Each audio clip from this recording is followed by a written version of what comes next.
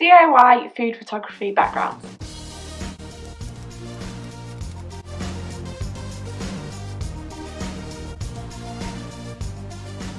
What's up YouTube and welcome or welcome back to my channel. On this channel we talk about everything to do with food and drink photography.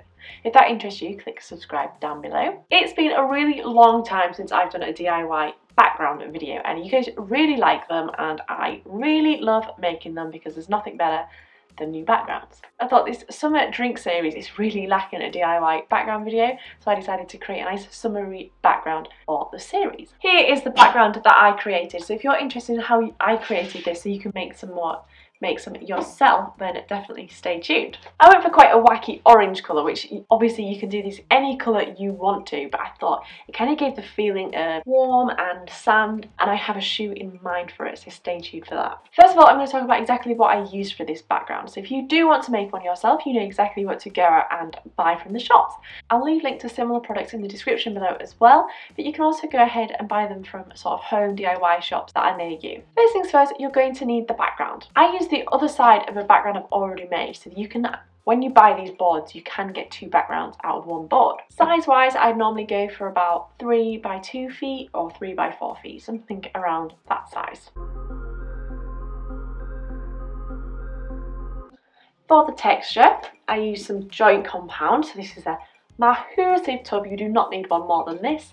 This has done me upwards of 10 boards and it's barely even taken a dint out of it. To apply the compound, you're going to need something like this. It's uh, like a palette knife. You can get them in different sizes and the different sizes are going to give you more or less texture. For the paint, I always go to shops and find little tester pots. These are a really great way of making these backgrounds a little bit cheaper. For this background, I used a sort of burnt orange colour and a much lighter orange colour. I did get a few different tones, but these are the two that I stuck with. Like I mentioned, you can get whatever colours you want for your background. When looking for your paints, you need to make sure they're a matte finish because you don't want your board to have a gloss finish. That is going to cause all sorts of crazy reflections. To apply the paint for this board, I used a sea sponge, and I actually did get this one off Amazon.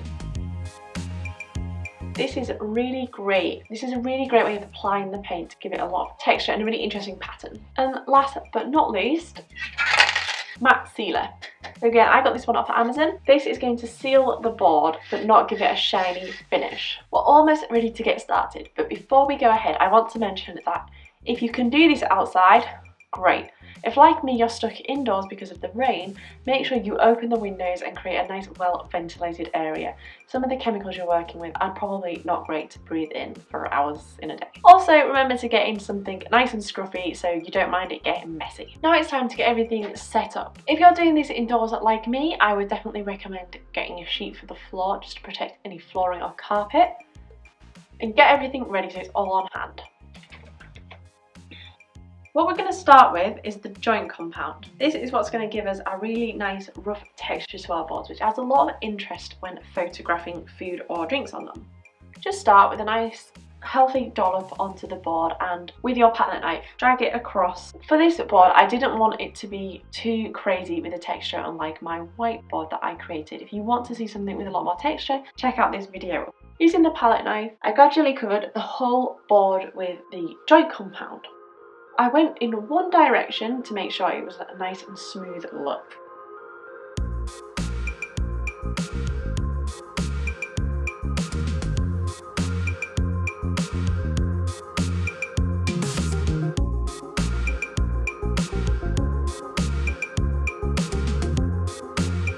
Now the board is completely covered, I'm going to get a paper or a plastic bag. This might seem really strange, but just wait, it's going to look great.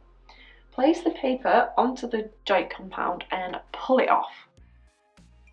As you can see, this is giving it a really speckledy effect and the texture is completely different to what the palette knife gives you. You can either do this all over or in small areas. If you don't want to use a paper because this takes quite a while, you can also use a plastic bag. They also give slightly different textures. You can experiment with how it looks if you just place it on it or if you place it on it and then drag it around to sort of flatten it a bit if you don't want it really spiky. This is a great way of adding some smaller sort of textured areas and it really adds a lot of interest to the board.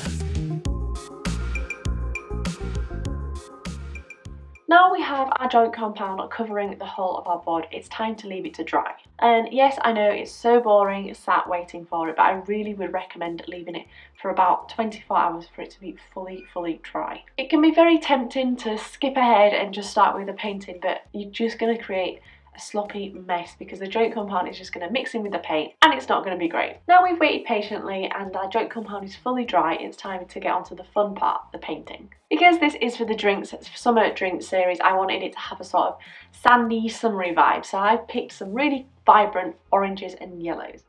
I also wanted a slightly lighter colour than what I had here, so I mixed the colours up with some white to create a much brighter colour than the ones I had picked. Adding white or black is a really great way of getting different tones of the same colour. Now we have the colours that we wanted to use. I'm just going to go with the three I created here. So the darker one, the medium one and the lighter one that's mixed with the white. Apply them all over the board, considering exactly where you want them. So if you want a darker outside area, apply more dark around the outside and more lighter colours into the middle. Make sure you get a nice even spread of paint so we're not going to run out of areas too quickly with no paint.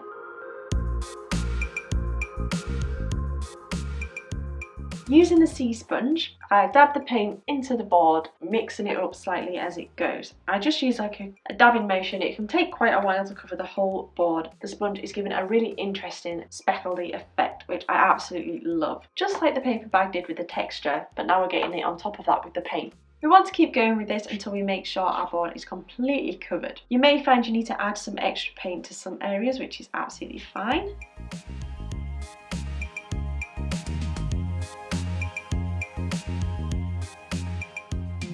Now that it's completely covered, we need to leave it to dry again. I know this is boring, but lots of waiting around. Ideally, again, we'd leave this for a day just to make sure it's definitely dry. And I know it can be tempted to, to start changing things up while it's still wet, but you're just going to mix, start mixing the paints in too much so you're not really going to see any changes in the tone. And also you might find it dry slightly lighter or slightly darker depending on what colours you're going with.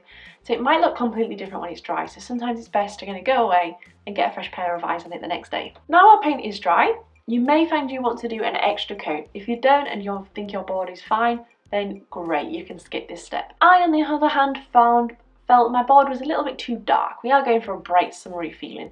So I added some more lighter tones, especially in the middle of the board. So the second coat, all I did was added a few lighter tones to the middle and kind of spread them a little bit.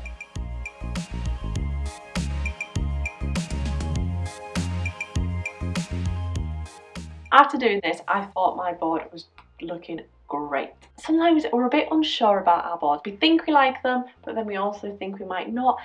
And if that's the case with you, take it for a test run before you seal it. See how it looks on camera because sometimes it can be completely different to what your eye is seeing. And we can easily get stuck in a trap of keep wanting to change something and change for it and you're kind of trying to make it perfect and Sometimes it's just never going to be perfect, but it might look absolutely brilliant on camera. Now our board is ready and that second coat or third coat, you can add as many coats as you want is fully dry, it's time to seal it. This is a really simple step. All you need to do is take the matte sealer. Usually says on the bottle, but about, about, loud, about 10 to 15 centimetres away from it, just give it a nice even coat.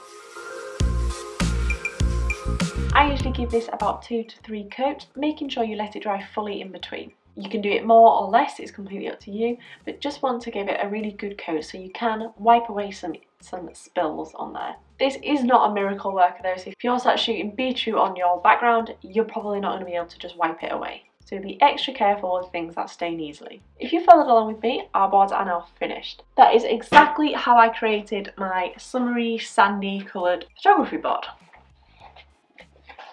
If you're interested in exactly how this looks in a shoot, watch next week's video, but I'm going to be shooting some pina coladas on this board.